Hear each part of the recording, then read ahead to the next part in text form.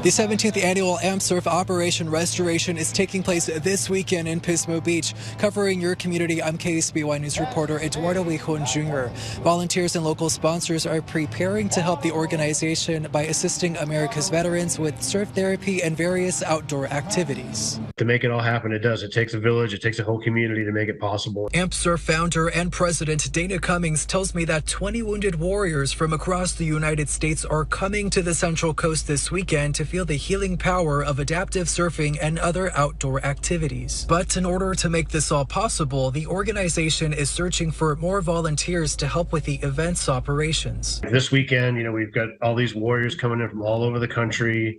Uh, we have multiple days of events. There's just no way possible to do it all without having that community involvement. AMP Surf's overall mission is to promote, inspire, educate, and rehabilitate people with disabilities and their families through adaptive surfing and other outdoor activities to keep them focused on their abilities and not their disabilities. The overall purpose of, of the entire program is basically to get people living with disabilities, veterans and first responders that have suffered injuries to focus on their abilities and not their disabilities.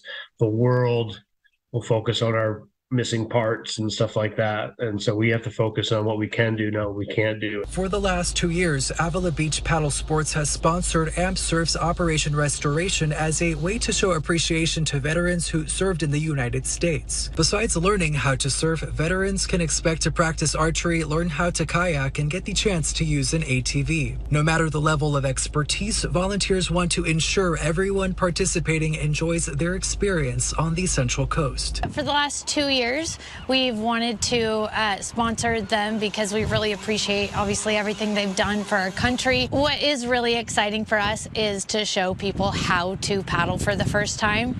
Um, and to see, you know, the hesitation they might have, and for us to really relieve that. And they get out on the water out here and they just have a great time. Surf instructors, first aid, and beach assistants are some of the various volunteer positions available this weekend. Volunteers don't need to how to need to know how to surf or anything to come volunteer with us. If you can hand someone a bottle of water on the beach, you can volunteer with us. And we need those people. We need folks that aren't out there, you know, ripping on the waves. We need them to be on the inside and helping out.